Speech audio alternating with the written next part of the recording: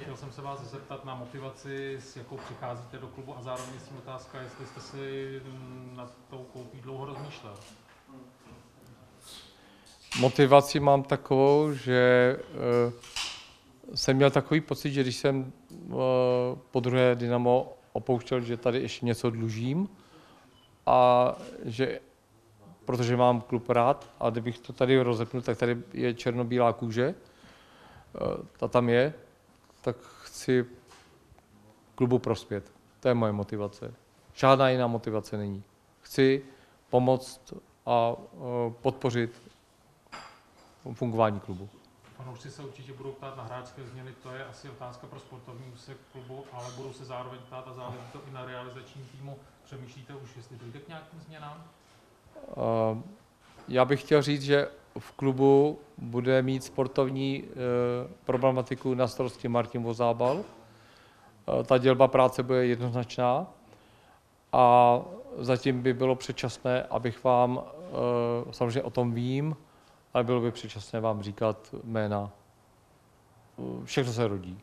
Zeptám se konkrétně trenér David Horejš, který je vlastně téměř rekordmanem tady v klubu, zůstává v Českých Budějovicích? David Horejš zůstává.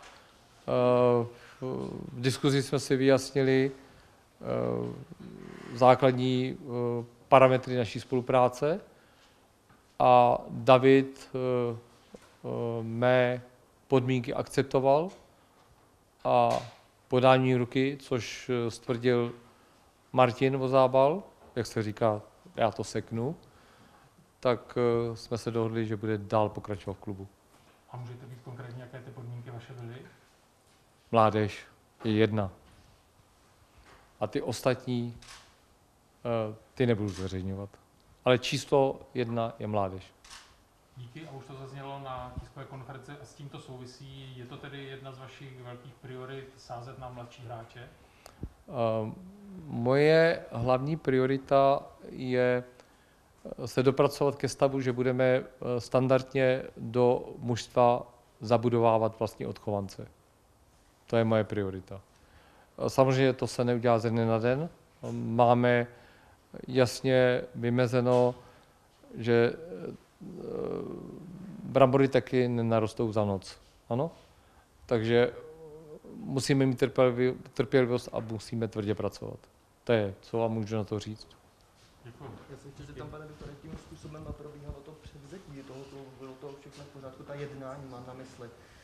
Uh, já jsem vám řekl, že každá akvizice je složitá, uh, velká, malá a um, je to vždycky uh, těžká práce, vždycky, ať už kupujete firmu za 800 milionů, anebo fotbalový klub. Takže bylo to náročné, ale vidíte, stojím tady a jsem živ. V pohodě. Super, děkuji. Zeptat, jestli bude pokračovat spolupráce ještě s Akademií motoru třeba, protože tam ta, ta spolupráce těch akademií je teď nastavená. Uh, já jsem se ještě tak hluboko nedostal, abych se propracoval ke spolupráci s hokejovou akademií. A ještě jsem chtěl uh, jednu věc. Uh, myslím, že um, Pavel Kortus uh, tam hezky střihnul tu moji litvínovskou, litvínovskou fotografii. Tak fandím motoru, ale když tu bude hrát Litvínov, fandím Litvínovu. Fandím mu od 70. roku, 68. Já jsem ročník 55, tak to už jsem si mohl.